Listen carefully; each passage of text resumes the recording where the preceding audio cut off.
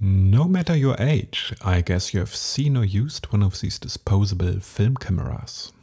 They're easy, they're small, and they can be a lot of fun. It's basically the aesthetics of 90s everyday photography. And despite being a rather despicable waste of resources, it's really fascinating how simple and cheap these can be mass manufactured. I've disassembled one for my video on viewfinder types because yes, they come with their own funny little reverse Galilean viewfinder. Next to the viewfinder there's a circuit board for the flash with a AA battery at the bottom. The shutter and film advancement mechanism are some fully mechanical plastic cogs and levers. But there is something else which is rather fascinating about these cameras. Most of them have only a single lens element, no focusing mechanism, no adjustable aperture. Only a tiny piece of plastic. Of course, there is a bit more of clever engineering involved. For example, the film plane in the camera is curved to compensate for lens errors. But anyway, I wanted to know how bad that lens actually is and how can I reuse it for a digital camera. Some people send the whole camera to the lab for development. The lab opens them, removes the standard film cartridge, and apparently some of these cameras are then passed on to the manufacturer for reuse or recycling. To which degree this can be taken at face value is mm, disputable. At least in the 90s, Fujifilm had a facility for disassembly and claimed to reuse at least some of the circuit boards, lenses and mechanics. The rest just got ground into raw materials. There's a Japanese documentary of the process. If that factory is still running with a lot fewer cameras around today, hmm, who knows. But let's assume you've got one and you want to keep the body, you just need to open it and remove the film yourself. Mandatory safety warning if you're doing this for the very first time. The battery in the camera is charging a capacitor for the flash. Even when the battery is removed, the capacitor may hold a charge. Use an insulated screwdriver to short the legs. Only then you know it's safe to touch.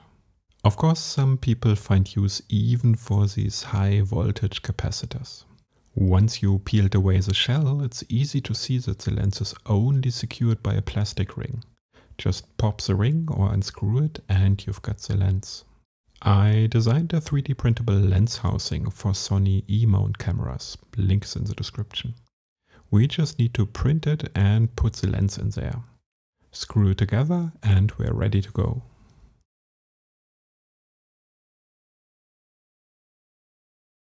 In the 3D model you can define your aperture size. The disposable cameras have an f10 or 11 sized hole, so we'll go with that as well. Testing them on a digital camera looks, well, not as good as like a real lens, but not completely garbage either. But I mean, the disposable camera is meant to produce 36mm negatives suitable for 15cm print, so it's exactly as good as it needs to be for this task. On an APS-C camera, the 35mm are more like 50, and that's quite narrow. Can we maybe get it a bit wider? One of the nice things about lens power or diopter is that it's additive. Instead of one lens with a very strong curvature, you can line up two with half the power and get the same refraction of light, more or less. This concept can be found in many lens designs, most of them going back to double Gauss lenses, first introduced by Carl Friedrich Gauss. To be precise, Gauss did that originally not so much to get a more powerful lens, but to reduce reflections and optical aberrations. But anyway, so let's salvage a second camera and put these lenses back to back. We just need to redesign our lens housing and print it again. In the new design we add a tiny shim in between the lenses to act as an aperture. With twice the refracting power we get half the focal length. Our 35mm becomes something like 17mm on a full frame and 26mm on an APS-C camera. In the images you see some vignetting. For full frame cameras it's even stronger, but I had none at hand for testing.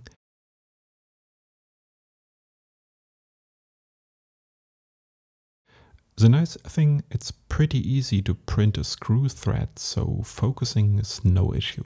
In general, I like the double lenses a bit more, it's simply more toy camera aesthetics. What do you need if you want to do the same? A 3D printer, a bit of glue or M2 screws and a disposable camera, that's all.